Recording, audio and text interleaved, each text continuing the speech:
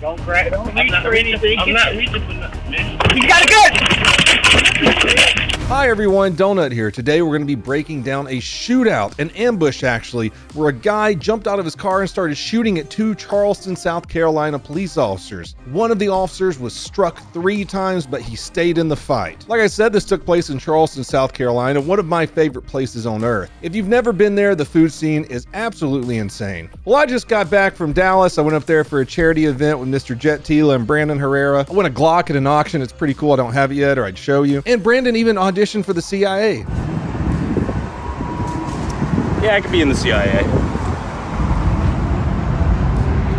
Anyways, let's continue with shootings. Let's talk about old people. Well, our sponsor that can help old people and you and young people. Our sponsor for this video is Guardio or Guard.io. Last time we talked about how it can help your teenager from looking up anime and getting viruses. This time let's talk about how stupid old people are. I'm just kidding, they're not stupid. There's, you know, they didn't grow up with the internet like we did. Who uses Facebook? Old people. That's right. There's a new form of scams going around on Facebook called malware posting. There are legitimate ads that bad people pay for to get pushed to everyone, and when they're clicked on, they got your information. You got scammed. Check this out. This is what it looks like. Just a normal, everyday ad on Facebook. Listen here, I might have gotten on my Nana's computer once or twice and held down Control Alt down arrow, flipped the screen upside down, and hold her solitaire game hostage until she took me to Walmart. But at least I didn't serve her false ads on Facebook, hoping to steal her credit card information. Protect your old people. You know what's cool when you sign up for Guardio? You can have five different family members on it, so you can protect all your old people. You can do a scan on their computer like I just did and saw that, oh, cool, 11 information leaks. Wonderful. How many information leaks does Nana have, huh? That's right, Guardio can show you how exposed you are. They'll do that scan for free, and if you sign up for it, they'll help you from downloading malicious content, clicking on phishing links and emails, and harmful pop-ups. You know your grandpa's gonna click on the first pair of big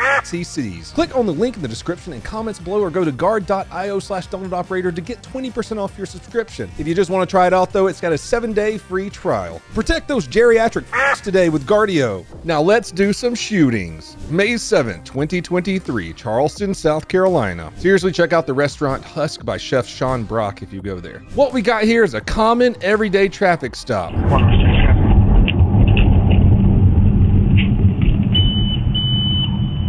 Highway northbound, turning into the Farmhouse Antiques. It's a black Ford Crown Vic, two times. It's a paper tag. I'll give it to you in a minute. So, police tip you cannot pull over a car just for looking like it's gonna have drugs and guns in it. Doesn't work like that. You can pull it over for swerving, like the officer says here in a second. But if you do happen to pull over a completely blacked out, decommissioned police cruiser Crown Vic with paper plates, there's probably gonna be drugs and guns in it. It's kind of hilarious how those cars end up after being one of the best police cars in the history of police cars. You can fight me on that statement. Don't come at me with some Ford Explorer bullshit.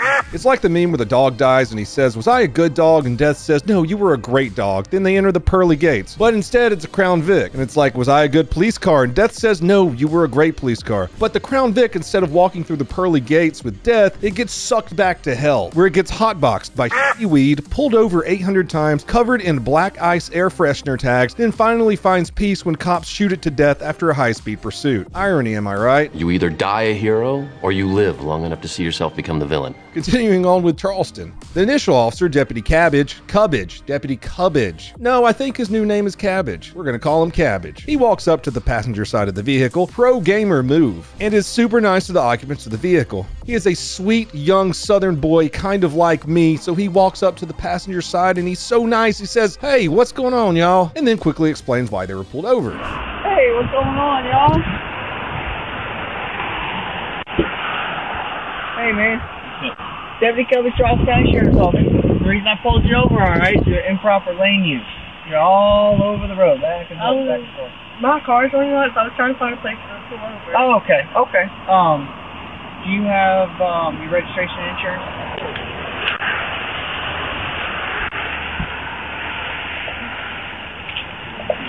Why do you have gloves on? Why does he have gloves on? That looks like a pretty hot South Carolina day right there. Well, the traffic stop continues for a couple of minutes. Backup arrives, and Backup also walks to the passenger side door. I'm guessing the suspect who is in the passenger seat sees the officer walking up and knew he was definitely screwed when the officer says, Hey man, step out of the car. It could have been a warrant, it could have been that it was a felon in possession of a firearm because there's about to be a gunfight, and you just didn't want to go to jail. They haven't stated what exactly it was, but either way, this is how the suspect thought was the smartest way to handle this situation. All right, hey, hop out. Hop out. Don't grab. Don't reach I'm not for reaching. anything. I'm not reaching for nothing, man. He's got a gun.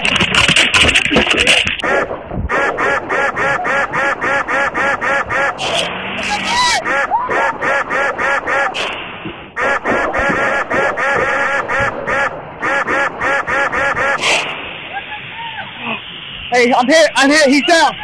I'm hit.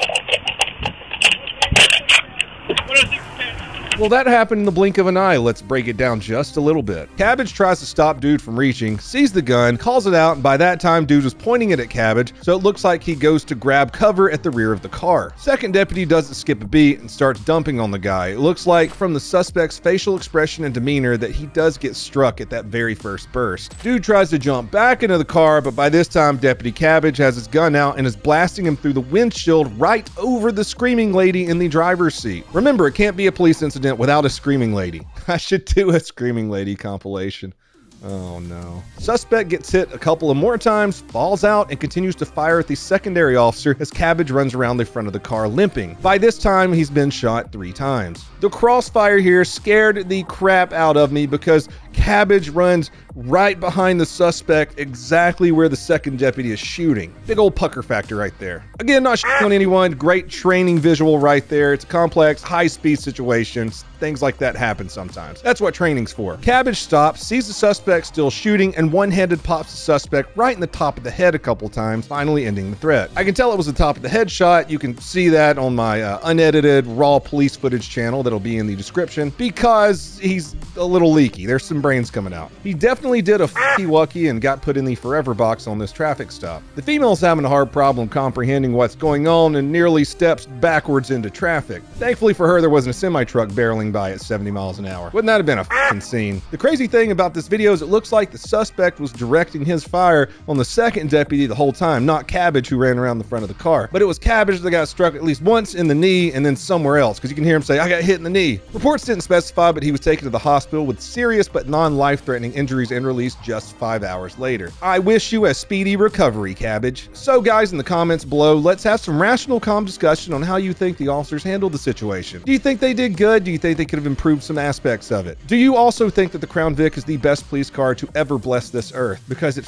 is. Fight me. That's all I have for you fine people today. If you want to help support the channel, I sounded like fat electrician right there when you, when you get to talking fast. Today we're going to talk about uh, donutoperator.com. That's what I was trying to get to. Get some super sweet merch. Subscribe to me on every other platform. I love you guys. As always, have a fantastic day. Back.